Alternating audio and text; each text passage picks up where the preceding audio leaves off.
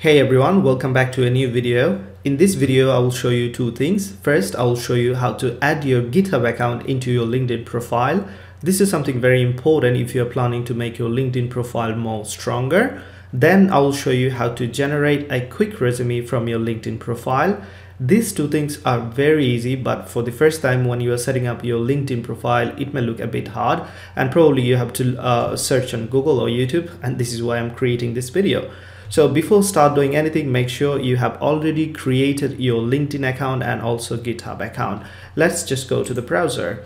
As you can see, I'm already uh, signed in to my uh, GitHub account and also in my LinkedIn account. First of all, I need the GitHub URL. So what I will do, I'll click on this down arrow and from here, I'll click on my GitHub username and then I have to copy this URL so right button copy and then I have to paste it somewhere. So what you have to do you have to go to the me section in your LinkedIn profile and then view profile.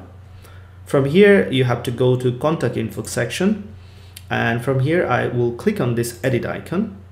And from here I have to add website so I'll click on this. And then I'll paste the URL that I have copied from the github account paste it and of course I have to select the other section. And this other section I'll mention here like this is GitHub account okay?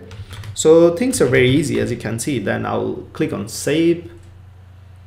As you can see the github account is added. And in the bracket as you can see it's saying github account. So fine our first thing is done. Then i will show you how to generate a quick resume from your linkedin profile. And this is something very easy. What you have to do you have to click on this more section and build a resume and then create from profile.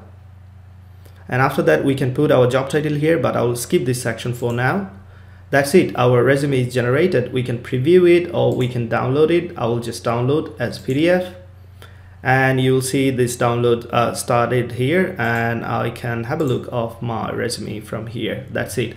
So in this video I hope you have learned how to add your github account into your LinkedIn profile and also how to generate a quick resume from your LinkedIn profile